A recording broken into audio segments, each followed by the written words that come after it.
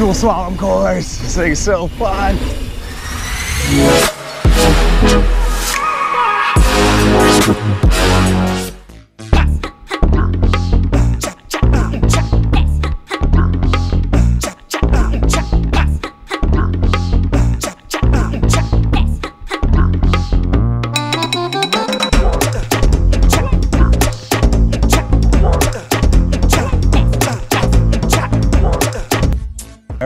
Good morning, guys. This is the new Ibis Ripley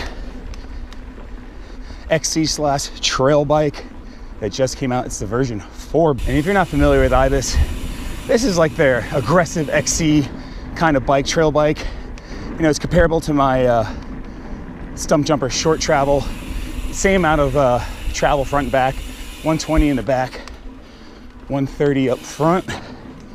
And I'm just making my way over to a descent here in the Kingdom Trails in East Burke, Vermont.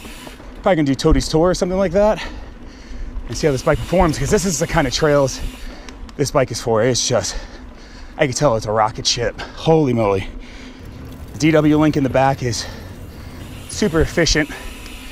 Uh, shock and fork are wide open and you can just lower the saddle and just sprint. Uh, I'm riding the totally Gucci'd out uh, spec. It's got Industry 9 hubs, like the new ones, uh, the Ibis carbon wheels, Fox suspension, 34 up front, um, Kashima factory, and same in the back. Um, it's got the new XTR 12 speed, and it's my first time riding it. It's buttery smooth. I mean, I like how you can just downshift a couple at once, just grab a handful if you're coming up to a climb, and it just switches down. And it's so quiet. It's got the race face to next carbon cranks. I mean, this thing is really nice. Ibis carbon bar, but and it's got the new XTR XC brakes, really sharp looking. 180 rotors front and back. Feel like it's good modulation, and uh, the Nobby Nic tires. Feels amazing. Right? Just going to the trail. I mean, super poppy. I know everyone says that, but I like a bike that can get off the ground pretty easy, especially for you know mellow trails. I don't want to ride my Megatower on trails like these. Man, this is definitely a direct competitor to my Stumpjumper short travel. Geometry is pretty similar too. It's got a 76 degree seat tube angle, 66 and a half head tube angle, which feels perfect. Nothing too extreme. Nice short chain but I think it's 432, so you could definitely probably get it around these turns, but we will find out. So we're gonna do Tody's tour to Catbox Hill and see how she goes. Suspension platform feels super good. Oh yeah.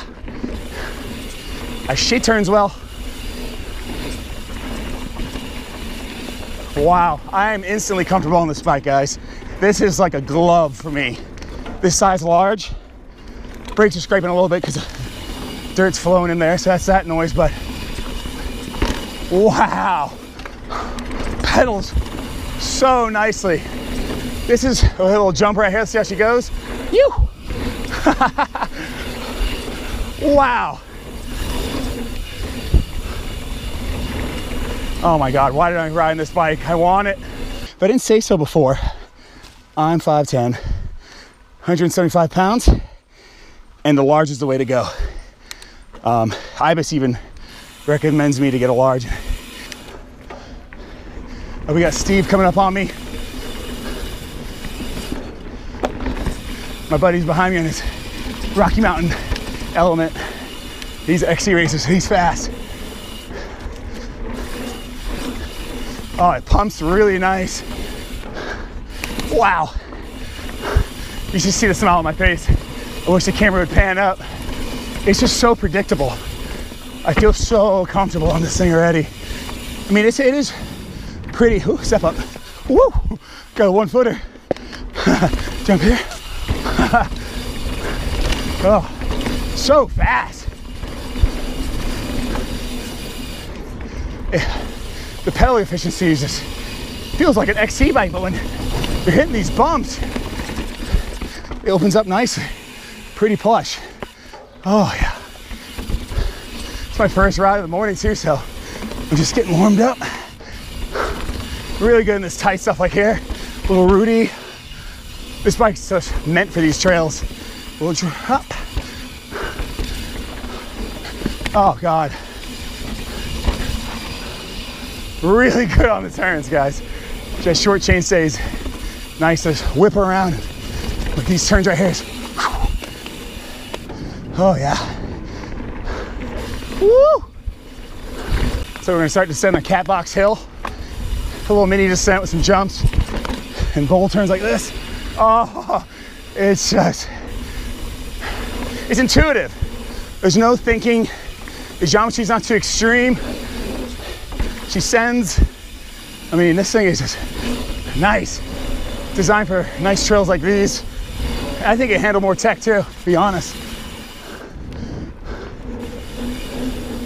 Just so smooth. Here comes a little table. Yeah. Jumps really nice. And I, I, think I'm really comfortable on this bike because it's so familiar with, or similar to my Stumpjumper ST. You know, the geometry is pretty similar. I'll put a little comparison here on the screen right now. You know, the head tube and the seat tube angle and stuff like that. But it just feels so light. You know, the frame is only five pounds without the shock installed, which is probably almost a pound less than my Stumpjumper S Works. Just feels good, you know, over those little roots and stuff like that. The turning is a little bit better than my Stumpjumper. I noticed that right off the bat. And the pedal position is a little bit more comfy. The cockpit feels a touch smaller. I'm guessing this is about a 40 mil, 45 millimeter stem or 50 maybe. And it just, this bike is spot on. I wouldn't change a thing. But guys, let's look at this Ripley real quick. Steve, what do you think about this uh, Ripley, dude? How it looks? Dude, it looks nice. Sharp, like the, color. the color is sharp. It's like a, I'd say it's like a baby blue with a little hint of purple to it, maybe, or something like that in real life. I don't know how it's gonna come across on the GoPro, but so we're making our way up Barrington Bench. Thing's a nice climber too. It's just a nice seating position, very comfortable. You see Steve just take off. He's an XC racer, so uh, he's gone on the element. But it's just so light. Um, it feels like it just dances down the trail on the descent. And on this climb, just super comfortable. That 76 degree seat tube angle. I'm just in a happy spot right now.